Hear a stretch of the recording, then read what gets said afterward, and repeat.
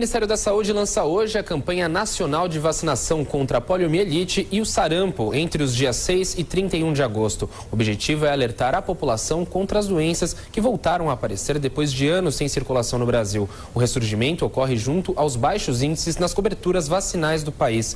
De acordo com os últimos dados oficiais, mais de 300 cidades imunizaram menos que a metade das crianças contra a paralisia infantil. Já os casos de sarampo têm aumentado de forma preocupante, atingindo 820 22 pessoas. As regiões mais críticas são Norte e Nordeste, com sucessivo aumento de casos em Roraima, Amazonas e Paraíba, que inclusive antecipou o início da campanha para 1 de agosto. Em São Paulo, estão sendo preparados dois dias D de vacinação. O primeiro será antes do início da campanha nacional, no próximo sábado, 4 de agosto. A diretora de imunização da Secretaria Estadual da Saúde de São Paulo, Helena Sato, destaca que o período é suficiente para vacinar todas as crianças de 1 a 4 anos não há necessidade de correria, é?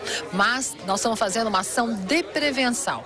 Então, neste momento, estaremos vacinando as crianças, repetindo, de 1 a 4 anos de idade, contra a paralisia infantil e contra o sarampo. E por que focamos nas crianças? Pois sabemos muito bem que se essas crianças que ainda não estão protegidas adequadamente se infectarem contra o vírus, se infectarem pelo vírus do sarampo, por exemplo, elas terão sim o maior risco de evoluírem com complicações, como pneumonia e algumas algumas crianças com complicações neurológicas. Helena Sato diz que o Estado conta com a participação das famílias para garantir o sucesso da campanha. Atualmente, a cobertura vacinal de poliomielite em São Paulo é de 70% e de sarampo de 74,3%. A meta é vacinar 2 milhões e 200 mil crianças de 1 a 4 anos de idade em todo o mês de agosto.